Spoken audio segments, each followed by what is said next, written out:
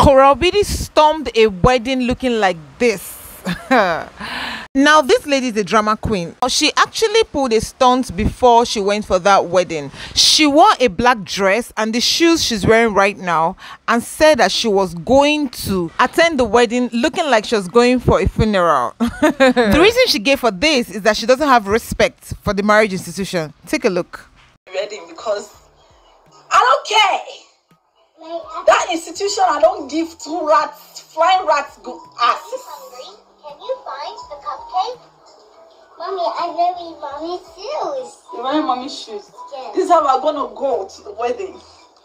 Because something. So we're gonna wear black. Wear black? Yes. With my Alicia Wong. Because I'm throat of anybody that wants to do nonsense. We're going to the wedding like this. Like we're going to I got my mommy.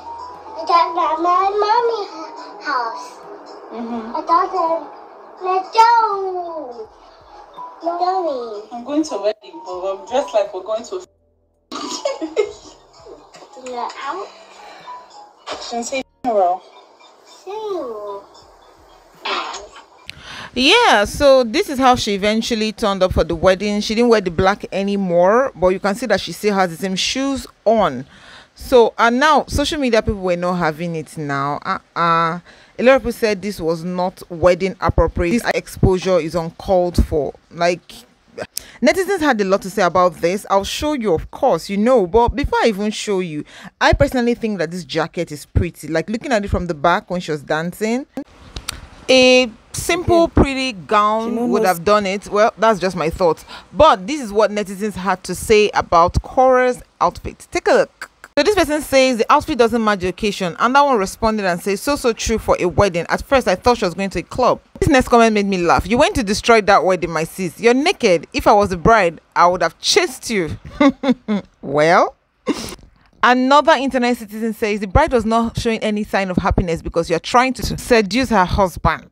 I don't know what to say about that. Moving on, it's surprising how some women are so mean and stupid. Because of what? You do not like her? How naked does she go? Do you think her children will hate her just because she dances naked?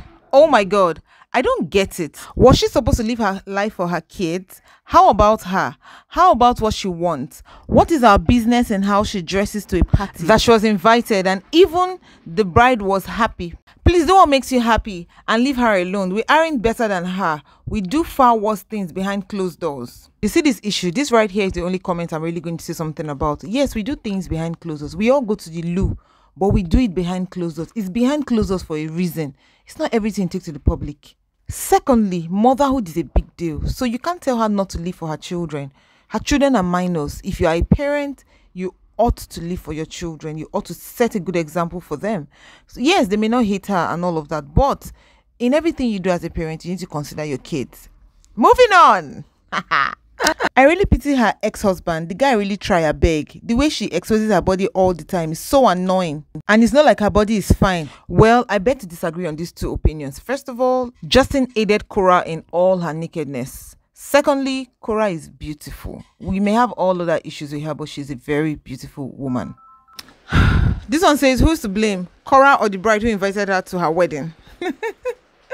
I can't even exhaust all the comments, but these are the comments so far. Kora herself, even when she's replying, she doesn't even reply in a very nice way. But anyways, that's how she wants to live her life. Let me know your thoughts in the comment section. What do you think about the outfit she wore to the wedding? What do you think about her disposition? Do you even think she's beautiful? Let me know you know in the comment section. See you in my next video. Bye.